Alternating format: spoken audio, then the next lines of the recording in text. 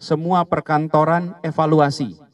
Bila kegiatan sudah lebih dari 50% pekerja, kembalikan ke 50%. Kami akan melakukan pemeriksaan secara random terus-menerus.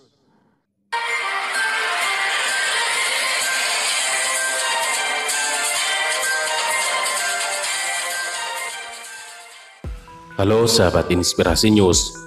Gubernur DKI Jakarta Bapak Anies Baswedan memberikan peringatan kepada seluruh anak buahnya di Jakarta agar terus mewaspadai lonjakan kasus COVID-19 yang tinggi, di mana kasus aktif di Jakarta minggu lalu pada 6 Juni 2021 adalah 11.500 dan pertanggal 13 Juni menjadi 17.400. Dalam sepekan telah terjadi peningkatan 50 persen.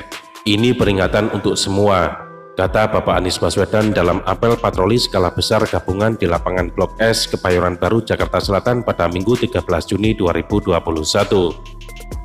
Bersama Polda Metro Jaya, Kodam Jaya, dan unsur masyarakat, Pak Anies Baswedan menyatakan apel gabungan ini bertujuan untuk meningkatkan kembali kesiagaan dan kewaspadaan seluruh pihak. Terlebih positivity rate di Jakarta meningkat Kemampuan testing di DKI Jakarta dalam sepekan ini sudah ditingkatkan dari empat kali lipat standar WHO menjadi delapan kali lipat. Itu pun masih menunjukkan angka positivity rate tinggi, terang Bapak Anies Baswedan. Ia pun menjelaskan pada pekan lalu tingkat keterisian rumah sakit di Jakarta 45 persen. Per 13 Juni ini sudah terisi 75 persen. Satu dari empat pasien yang dirawat di Jakarta adalah warga luar DKI. Meskipun demikian, kami tidak membeda-bedakan pelayanan baik untuk warga DKI maupun luar DKI, tandasnya. Oleh karena itu, ia menekankan kondisi pandemi COVID-19 di ibu kota membutuhkan perhatian atau atensi ekstra dari semua unsur. Kita semua harus sadar, ibu kota dalam kondisi yang memerlukan perhatian ekstra, tuturnya. Anies menggambarkan perhatian ekstra tersebut dibutuhkan mengingat kondisi COVID-19 di Jakarta saat ini mengalami lonjakan amat tinggi hanya dalam kurun waktu sepekan.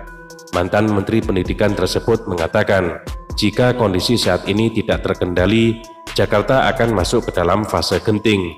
Dan jika fase itu terjadi, maka DKI Jakarta harus ambil langkah drastis dalam pembatasan kegiatan.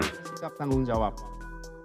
Semua fasilitas hiburan seperti tempat-tempat berkumpul, restoran, kafe, rumah makan, ikuti ketentuan 50%. Kami akan melakukan operasi pemeriksaan ke semuanya. Jam operasi diikuti. Jam 9 malam harus selesai. Jam 9 malam harus tutup. Bila tetap buka, kami akan disiplinkan dan kami akan berikan sanksi so så.